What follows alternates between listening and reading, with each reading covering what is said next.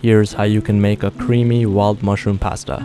Now some of these mushrooms may be hard to find, I know it was for me, but if you can't find these exact ones then just feel free to use whatever mushrooms you enjoy.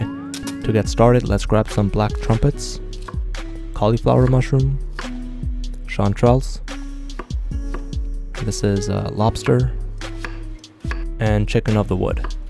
I'll also be chopping up some leeks and tarragon. Now in a hot pan, let's add in all of your mushrooms and let's cook out some of the excess water. Then you can add some butter to brown it up along with your garlic and leeks. Now you can deglaze with chicken stock and let that reduce a bit before adding in heavy cream and your tarragon. As that simmers on low heat, you can prepare your pasta. Once the pasta is done, drop it into your sauce along with some pasta water and black pepper. Enjoy.